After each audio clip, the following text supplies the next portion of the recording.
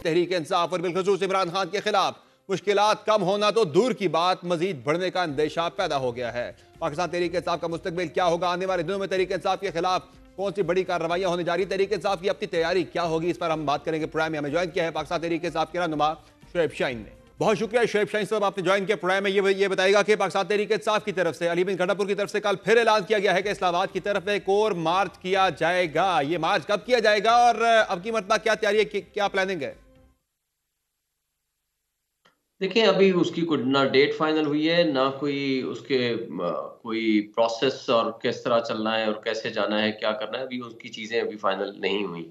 और इस हवाले से ज़ाहिर है, हमारी इमरान खान साहब से मुलाकात होगी और उनसे गाइडलाइन ली जाएगी, उनसे इंस्ट्रक्शन ली जाएगी और ये सारी चीज़ें हमने ज़ाहिर बताना है खान साहब को। और उसके बाद हमारी जो पोलिटिकल कमेटी या कोर कमेटी बैठ कर फैसला करेगी तो उसके हवाले से फिर हम आगे प्रोसीड करेंगे। ये बताएँ मुझे कि अब पाकिस्तान तहरीक साहब का लाएमल क्या है? जब जब जब आप बात कर रहे हैं कि एक और एहतजाज की कॉल देंगे, लेकिन पार्टी के अंदर बड़े भरपूर इख्तलाफात सामने आ चुके हैं। के पी से जो है वो बुशा बीबी के वाले से जो बयान आते हैं, उनको डिफेंड करने की कोशिश की जाती है। मिशाल यूसुफ जई की तरफ़ से, उन्हें अहदे से हटा दिया जाता है गंडापुर साहब की तरफ़ से।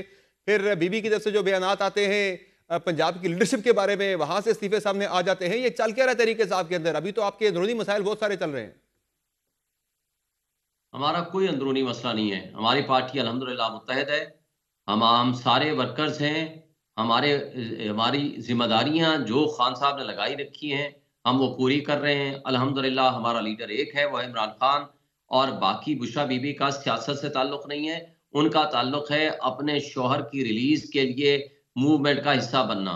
तो लिहाजा इसमें कोई दूसरी राय नहीं है। ये सिर्फ़ कठपुतलियों की फैलाई जाने वाली बातें हैं। कि हमारे दरमियान अख्तलाफ है कोई अख्तलाफ नहीं नहीं आपके अपने पार्टी के लोगों ने बयान दिए इस तर, इस तर्ज पर या इस तरह के बयान जो कि साबित करते हैं कि जो कि साबित करते हैं कि इस तरह के बयान दिए गए हैं एक दूसरे के खिलाफ बात की गई है बुशा बीबी की तरफ़ से। सब ज़्यादा हामिद रजा साहब का ऑन द बुशा बीबी हमारी पार्टी लीडर नहीं है। हमारे लिए बहुत काबिल एहतराम है वो हमारी पार्टी लीडर नहीं है और उन्होंने किसी किस्म का कोई बयान नहीं दिया। पार्टी पार्टी संजानी के बजाय डी चौक पर जाने का उनका फैसला जो है वो मानती है लेकिन बाकी फैसले उनके जो है वो नहीं माने जाएँगे। नहीं उनका कौन सा फैसला है जो उन्होंने कहा वो पार्टी के मुतालिक? अच्छा मुझे मुझे ये बताएँ मुझे ये बताएँ मुझे उनका फैसला है ना ही उनका फैसला हमने कोई माना है ना ही उनका फैसला कोई सामने आया है। बाकी सारी मैंने कहा ना कि ये सिर्फ़ अफवाहें हैं उसके अलावा उसकी कोई हैसियत अच्छा मुझे ये बताएँ शेब शहन साहब के अब अगर दोबारा से बात कर रहे हैं अली बिन गनापुर साहब के। फिर से हम एक तहरीक शुरू करेंगे फिर से हम आएँगे इस्लामाबाद की तरफ़। तो फिर क्या इन सारे मामला को बुशरा बीबी ही लीड करेंगी या अब प्लानिंग या उसकी एग्जीक्यूशन से बुशरा बीबी को दूर रखा जाएगा?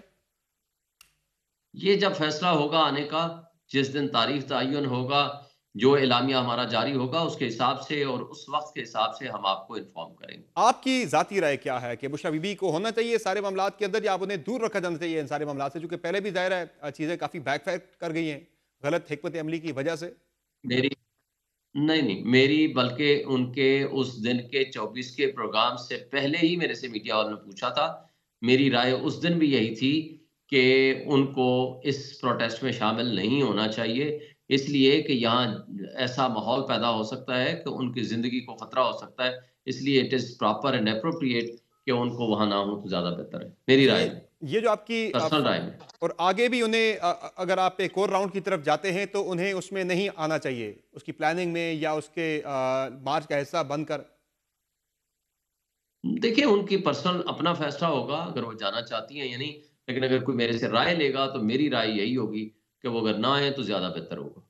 अच्छा ये बताएँ कि अब सूरत हाल है क्या? पाकिस्तान तहरीक इंसाफ की हमत अमली है क्या? चूँकि सूबे के अंदर गवर्नर राज की बातें चल रही हैं सूबे के अंदर एमरजेंसी लगने की बातें हो रही हैं पाकिस्तान तरीके साफ़ को बैन किए जाने के वाले से भी जो है वो मुख्त तजावीज़ पर गौर किया जा रहा है। किस तरह के, यानी कि जो है ना तरीके साफ़ की तैयारी है? अगर इस तरह का कोई एक्शन होता है आपके खिलाफ तो कैसे निपटेंगे उससे? देखें ये एक छोटा सा बदमाशिया है जो मुल्क के ऊपर मुसलत किया गया है। आठ फरवरी को इलेक्शन हार चुके थे। हमारे पास थ्री फोर्थ मेजोरिटी मौजूद है। उसको शबखून मारा गया स्टैब्लिशमेंट की मदद से। और करप्ट इलेक्शन कमीशन और करप्ट ब्यूरोक्रेसी को साथ मिला के और काजी फाइसा की सहूलतकारी के साथ। आज उसके बाद आइन और कानून को पामाल किया गया। चंद लोगों के हाथों में खिलौना बना करके अब निज़ाम इंसाफ के ऊपर छब्बीसवीं तरमीम के ज़रिए ये हमलावर हैं। आपको याद होगा कि जुलाई के पहले हफ़्ते हमें कहते थे कि जी एपीसी बुला रहे हैं कि आए जी हमसे मुजाकरात करें जी बात करें। हमने जब उस पर रजामंदी ज़ाहिर की बारह जुलाई को सुप्रीम कोर्ट ने हमारे हक में फैसला दिया मखसूस नशिस्तों का। पंद्रह जुलाई को वह तारड़ आता है। किसके कहने पे? कि जी हमने पीटीआई पे पाबंदी लगाने का फैसला किया है। इनकी ज़रूरत थी तो लगाते ना। क्या ये पूरे पच्चीस करोड़ आवाम को ये दहशतगर्द बना के उनके ऊपर पाबंदियाँ लगाएँगे? इनमें ज़रूरत ही नहीं है। और अगर ये कुछ करेंगे तो इनका वो अंजाम होगा वो अशर होगा कि ये कहीं मुँह दिखाने के काबिल नहीं होंगे। हसीना वाजिद की तरह इनको कोई शायद पनाह भी ना दे। तो आपकी जो इस फाइनल कॉल का असल मकसद था वो था खान साहब की रिहाई। तो खान साहब की रिहाई तो नहीं हो सकी, बल्कि उल्टा तरीके साहब ज़्यादा डिफेंसिव पोजीशन में चली गई है, पहले से भी ज़्यादा कमज़ोर पोजीशन में चली गई है तो वो रिहाई वाला मामला तो आप पे ज़्यादा जो है वो मुश्किल में पड़ता हुआ नज़र आ रहा है? दबाव की हिकमत अमली के तहत? बिल्कुल हो सकती है।